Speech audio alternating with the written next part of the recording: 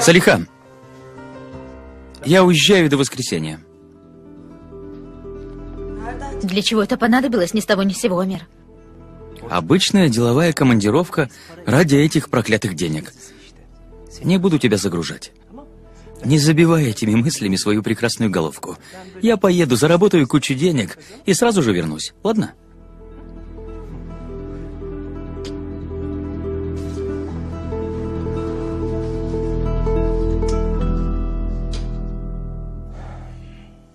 Все отвернулись от меня. Асия, хотя бы ты приходи. Не могу же я идти к ним совсем один. Брат, я очень рада за вас. Но там будет Ильяс. Там будет мама Фатма. Опять возникнет конфликт. Я не хочу. Нет-нет, мамы Фатмы не будет. Она тоже умыла руки. Ее не будет вечером дома. Мы придем и попросим ее руки у Ильяса. Сестра, ну помоги своему брату. Я в кои-то веки о чем-то тебя прошу. Наших родителей тоже не будет. Нельзя же приходить без сватов. Так и быть, что поделать. Купим цветы, конфеты и пойдем свататься. Золотая моя сестренка. Мимо! Так я буду сватать для тебя, Нармин. Дело в шляпе.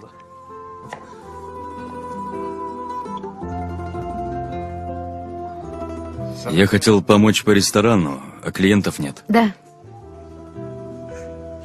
А что, госпожи Мариаман нет? Она же тоже здесь работает. Я сегодня ее не видел. Нет. Ну ладно, я просто так спросил. Она здесь работает, но я ее не видел, поэтому... Сегодня ее нет. Сегодня ее нет. Сегодня нет. А что, какие-то проблемы? Нет, никаких проблем. Какие могут быть проблемы? Ни в коем случае. Ну ладно, тогда мне пора ехать. Хорошо? Я заеду за тобой вечером. Ладно? Хорошо. Племянник, ты стал взрослым. Если хочешь, приходи вечером и попросишь у папы руки тети. Отлично. До встречи.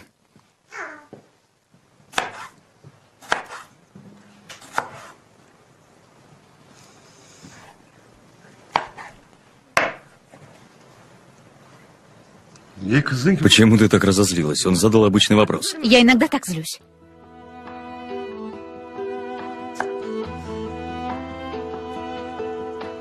Прости. Мне иногда нужно так реагировать.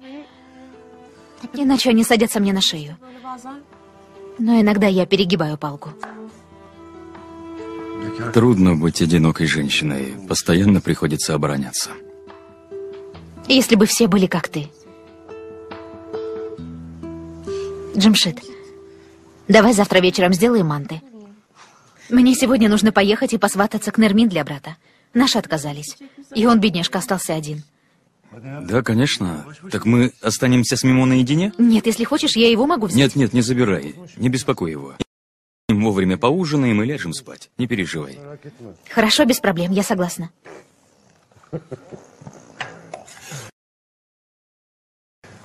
Так значит, твои не жалуют, Нермин? Но это нормально. Не страшно. Мы убедим их как-нибудь. Они поначалу Ильяса не взлюбили, но я...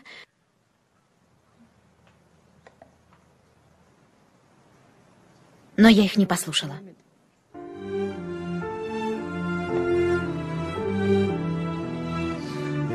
Хорошо, что не послушала.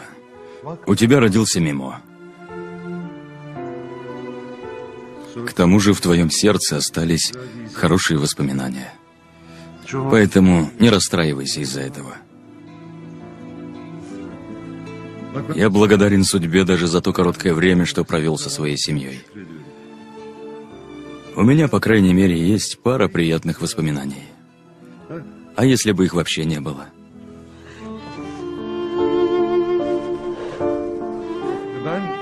Я сказал это не для того, чтобы расстроить тебя, правда.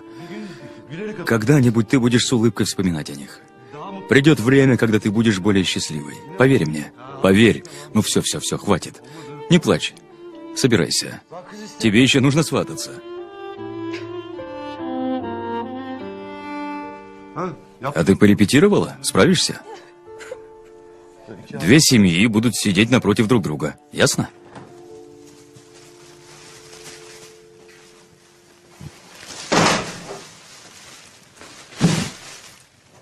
Продолжай сидеть в глубоких раздумьях, господин Бахатин.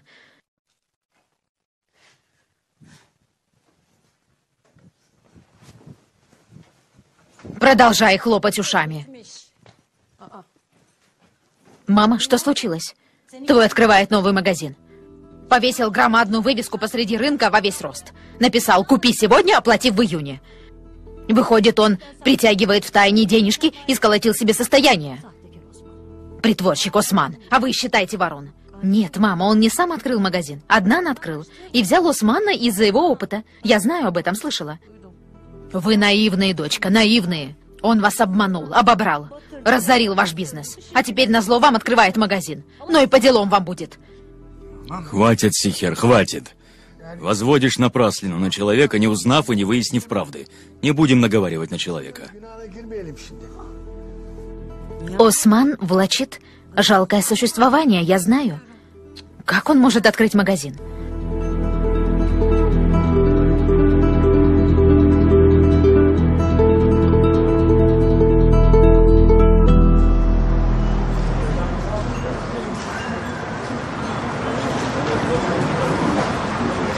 Здравствуй. Привет. Как дела, Джем? Добро пожаловать, Салиха. Как у тебя дела? Пойдет. Я очень голодна. Можешь попросить что-нибудь приготовить? Вместе поедим. Да, без проблем. Тогда сядем вон там.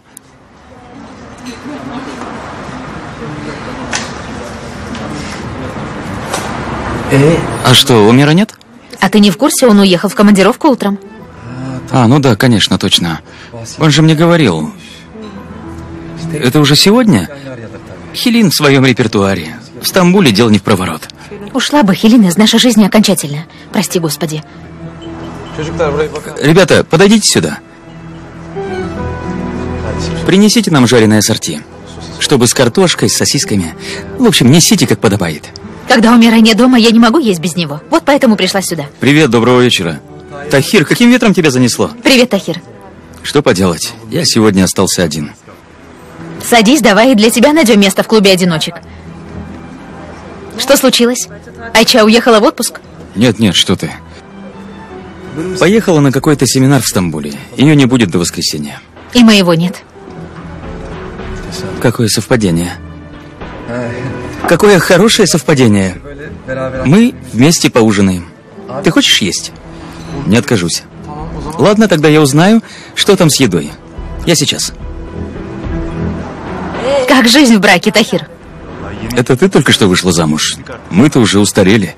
Лучше ты расскажи. Сестренка, как я предстану перед людьми?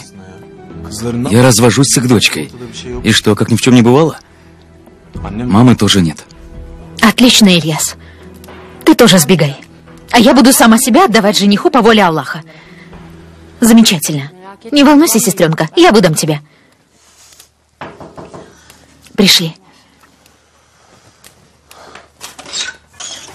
Добро пожаловать. Привет. Твоя свекровь очень молодая и невероятно красивая. А наша невестка красавица. Ты прекрасно выглядишь, Нермин. Спасибо, Асия. Привет. Для меня очень важно, что ты пришла. Большое спасибо. Мы сделаем все как нужно. Так или иначе. Все-таки я пришла ради вас. А вы, кажется, представляете сторону невесты? Да. Я выступаю со стороны невесты, как ее брат и глава семьи. Прошу, присаживайтесь. Привет.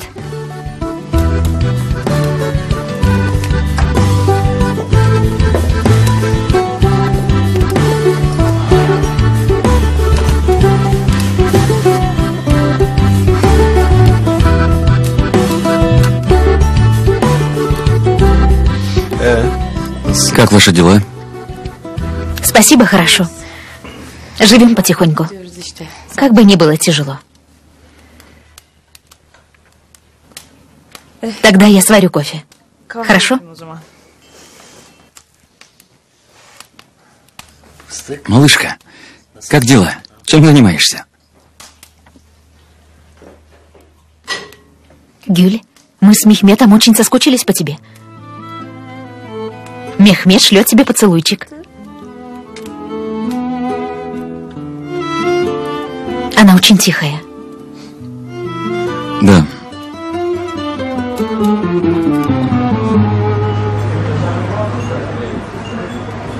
Вы приступайте, а я сейчас приду. Давай. Приятного аппетита. Тебе тоже.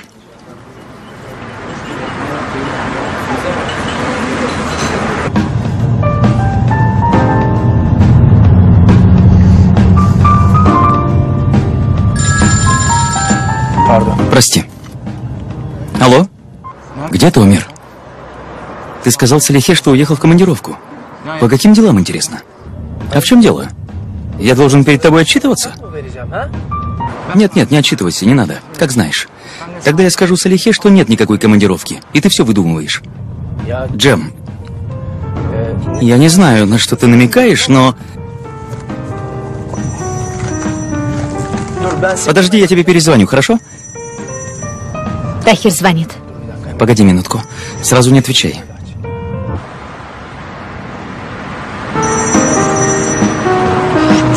Я выключу музыку. Отвечай. Да, любимый. Алло, как дела? Как ты? Нормально доехала? Там комфортно? Хорошо, ясно. Как отель? Удобный? А как называется? Где он? Нет, я просто так спрашиваю название. Если ты в порядке, то проблем нет. Только звони мне, пожалуйста. Я уже соскучился. Ладно. Позже созвонимся.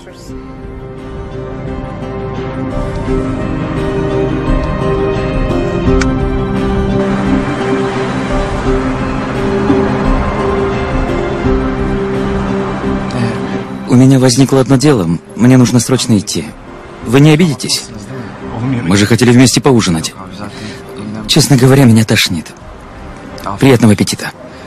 Как странно. Что происходит? Все будто сговорились. Вот что. Я сейчас перезвоню Джему. Надо контролировать ситуацию. Ну давай же, Джем, ответь. Нет, не отвечает. Как ты думаешь, что случилось? Может быть, они узнали, что мы вместе? Вернемся, если хочешь. Такие поездки не для тебя. Ты и второй экзамен не прошел. Вернемся. Только хотя бы поужинаем где-нибудь здесь. Я якобы в Стамбуле. Тахир потом удивится, что я так скоро вернулась.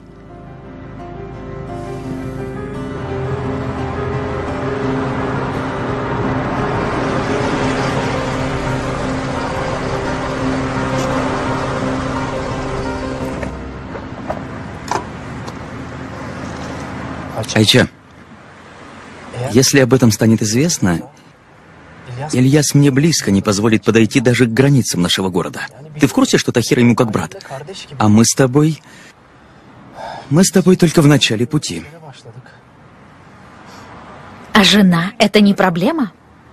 Тебя она не волнует?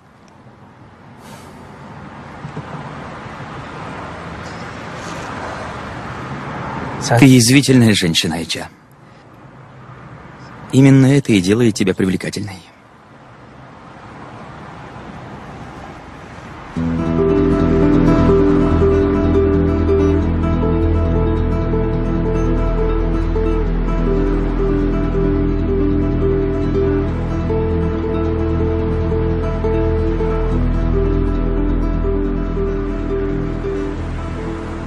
Если у нас закрутится роман, то этот роман будет идти по моему сценарию. Не смей больше проверять меня.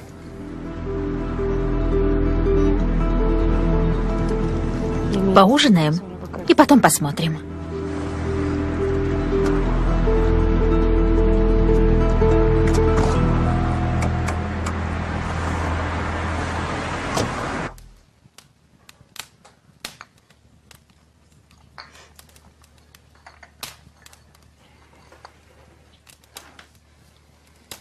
Мой брат повстречал вашу сестру. Они влюбились и решили пожениться. А нам остается только по воле Аллаха, переданной пророком, попросить для нашего брата вашу сестру. Что скажете, господин Ильяс? Отдаете сестру?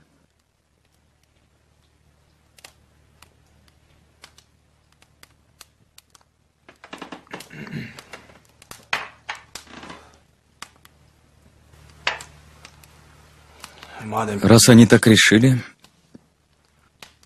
хорошо. Я отдаю сестру. Будьте счастливы.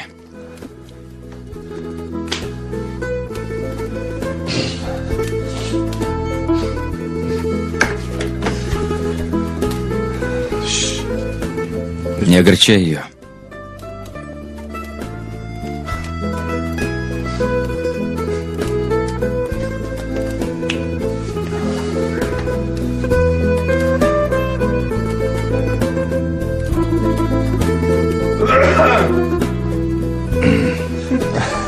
Зять, свадьбы еще не было.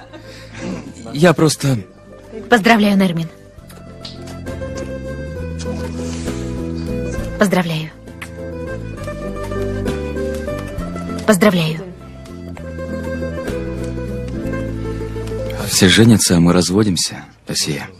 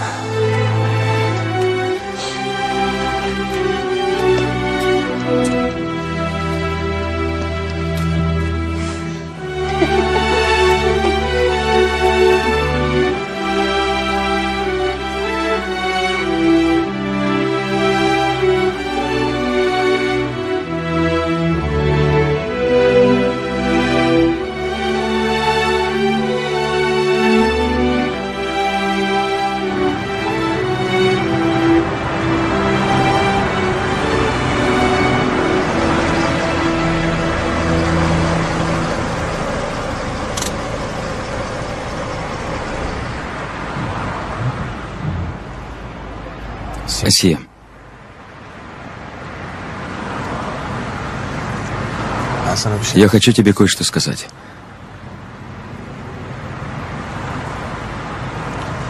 Послушай. Я ни на ком жениться не обещал. Признаюсь, да, этого захотела Хелин. Но только на бумаге. Она очень больна. Вот-вот умрет. Она хочет законным путем оставить мне после себя компанию. Она не хочет, чтобы ее разбазарили. Ильяс. Не утруждай себя. Мое доверие к тебе пошатнулось не из-за этой истории с браком. Знаешь, когда это началось?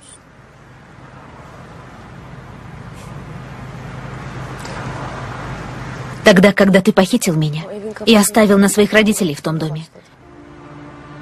А потом, когда ты пообещал, но не бросил соревнований, когда не построил нам дом.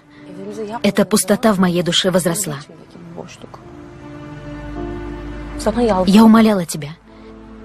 Просила не затевать с той женщиной бизнес. Ты согласился.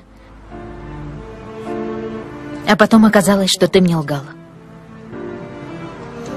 И вот так, постепенно, шаг за шагом, моя обида к тебе дошла до невозвратной точки.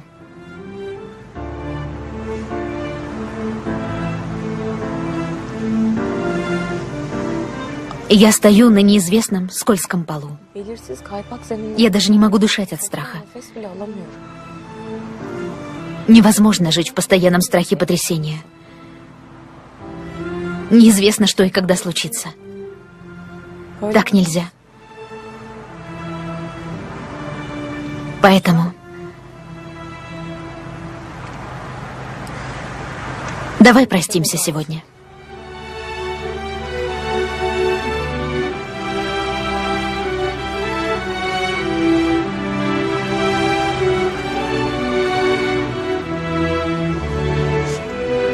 Конечно.